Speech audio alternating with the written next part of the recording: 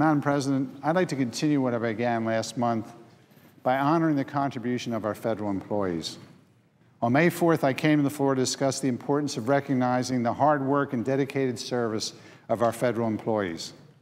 This is especially important because of our recovery efforts during these challenging economic times. The programs we enact, it's easy to say, will be carried out by a federal workforce that requires people's confidence. I know from personal experience how industrious and trustworthy our civil servants are. The public needs to know too. As I said then, we also need to encourage more of our graduates to enter careers in public service. America is blessed with so many enthusiastic and entrepreneurial students and citizens.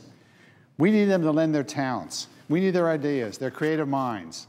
This is why I've made it a priority to honor excellent public servants and call attention to what federal employees can and do accomplish. In my previous remarks, I promised to highlight some of our excellent public servants from this desk every so often.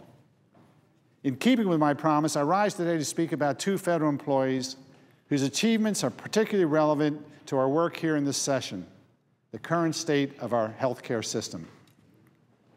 As many know, cervical cancer is the second most common cause of cancer deaths in women worldwide. It takes the lives of almost a quarter of a million women each year. Here in America, nearly 11,000 women are diagnosed annually. What distinguishes cervical cancer from most other cancers is its cause. While many cancers are linked to a genetic predisposition for abnormal cell growth, nearly all cases of cervical cancer result from viral infections. The majority of these infections come from exposure to the human papillomavirus, or HPV. HPV is, most common, is the most common sexually transmitted disease affecting Americans. When Dr. Douglas Lowy and Dr. John Schiller began studying HPV, little did they know that their 20-year partnership as researchers would lead to the development of a vaccine. Working at the National Institute of National Center Institute Center for Cancer Research, the two discovered that previous attempts at creating a vaccine had failed because a genetic mutation existed in the virus, making it difficult for the body to produce antibodies against it. Once Drs. Lowy and Schiller made this finding, they worked to create a modified version of the HPV without the mutation.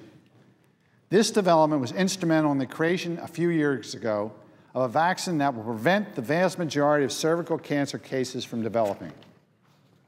Because over 80% of those who develop cervical cancer cases live in developing nations, Drs. Lowy and Schiller have been working with the World Health Organization to make the HPV vaccine available to women around the world.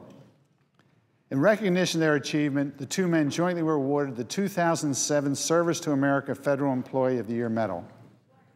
Today, women and girls aged 9 through 26 have the ability to be vaccinated against developing cervical cancer.